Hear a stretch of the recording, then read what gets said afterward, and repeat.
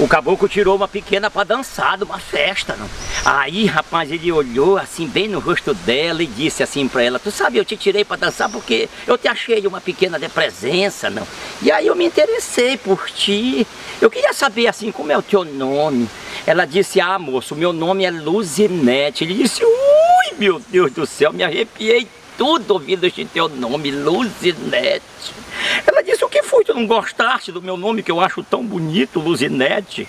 Ele disse, não é que eu não tenha gostado. Foi que me fez lembrar de duas dívidas que eu tenho, a luz e a internet, que estão atrasadas.